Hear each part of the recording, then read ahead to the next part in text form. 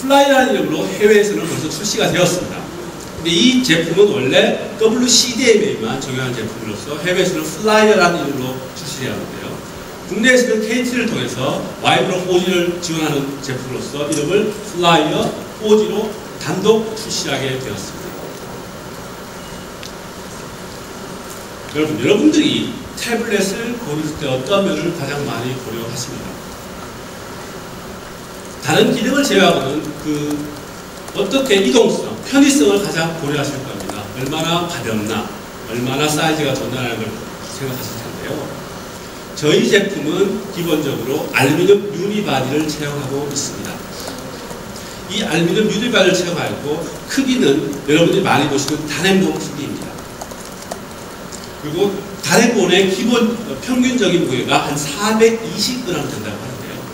420g 보다 약간 나는 416g의 무게를 가지고 있습니다. 7인치의 크기, 416g의 무게를 가진 이 제품이 알루미늄 body를 채용함으로써 좀더 이동성하기, 이동하기 편하고 그립감도 한층 향상시켰습니다. 또한 이번 4G 어, 플라이어 4G에도, 플라이어 4G에서도 이번 4G 플러스와 똑같은 3D UI가 적용되어 있습니다. 보시는 바와 같이 다양한 위젯들이 적용되어 있는데요. 가령 페이스북 위젯이라든지 아니면 트위터 위젯, 달력 위젯, 여러 가지 날씨 위젯들이 적용되어 있어서 굉장히 아름다운 UI를 보여주고 있습니다. 앞에서 먼저 표사님께서 말씀 그 말씀드린 가장 key feature가 하나 있습니다.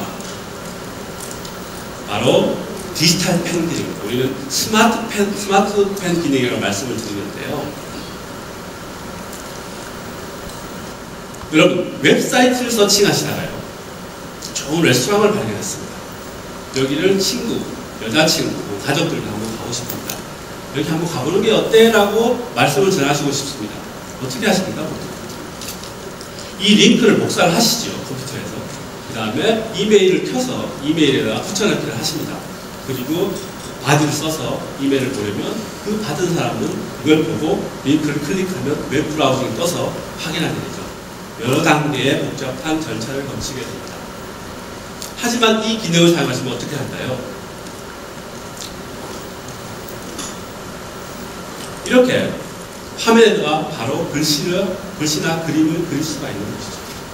이렇게 같이 가자라고 글씨 쓰시고요. 바로 이 화면 자체를 이메일 또는 문자를 통해서 바로 공유가 가능한 것입니다. 굉장히 편리한 기능입니다. 이 디지털 펜 기능은요.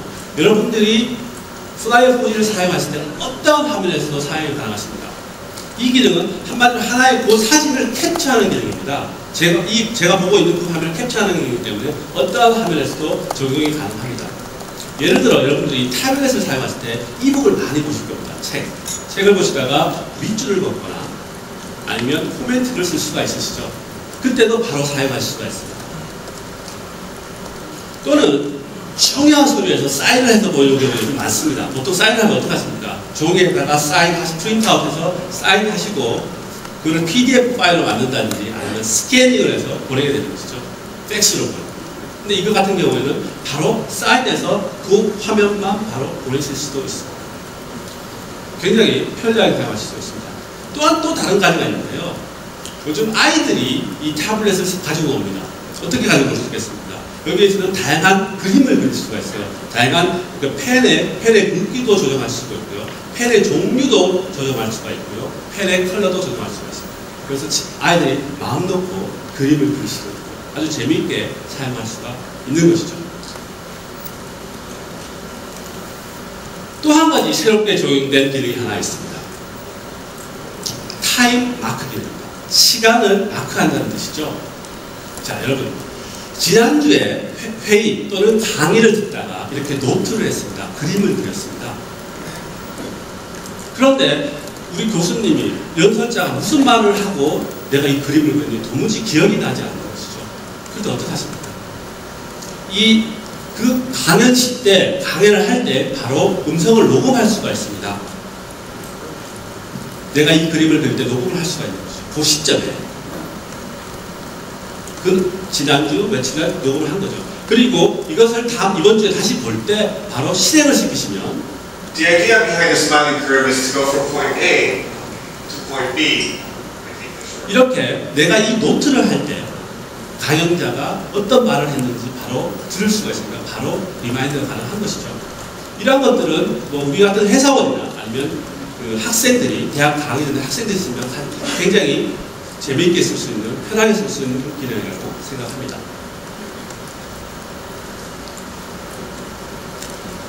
또한 이렇게 만들어진 이렇게 만들어진 모든 문서들은 노트의 형식으로 저장이 됩니다. 요즘 많이 쓰는 크라우드 노트가 있는데요. 이름하여 에버노트입니다. PC에서 웹을 접속을 해서 에버노트를 쓰면 바로 우리 플라이어 4G에서 볼 수가 있고요. 플라이어에서 4G에서 에버노트에 저장한 것은 PC를 통해서 그 노트를 바로 보실 수도 있습니다. 서로 linking이 되어 있는 것이죠. 마지막으로 또 가족들 전체가 이, 이 Flyer를 재미있게 쓸 수 있는 기능이 하나 있습니다. 여러분들이 요즘 시내 나가보시면 요즘 많이 안 하는 것 같은데요. 스티커 사진 찍습니다. 여러 가지 표정으로 여러 가지 사진을 찍어서 내장 또는 여러 사, 사진을 찍는데 그러한 기능들이 들어가 있습니다.